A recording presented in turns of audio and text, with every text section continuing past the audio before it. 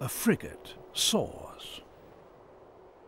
Somewhere beneath the surface below, there is the food it must have.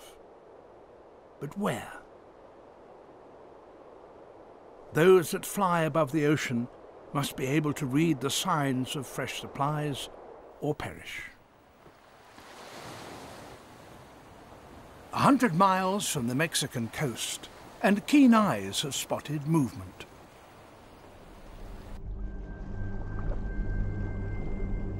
Sailfish, three meters long, are closing in on prey.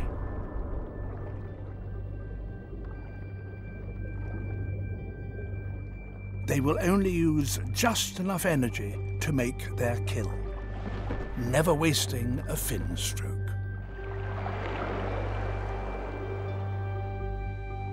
Nearly a hundred sailfish have surrounded a single school of baitfish. It's very rare to see so many of these hunters in one place.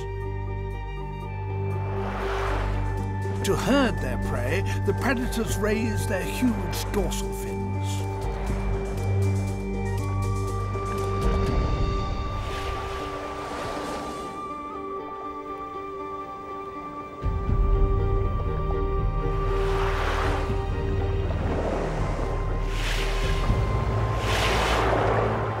A mistimed strike by one sailfish could fatally damage another, but each continually changes its colour from blue to striped to black. That warns its companions of its intentions and also confuses the prey. As the shoal is driven nearer the surface, it comes within the range of the seabirds.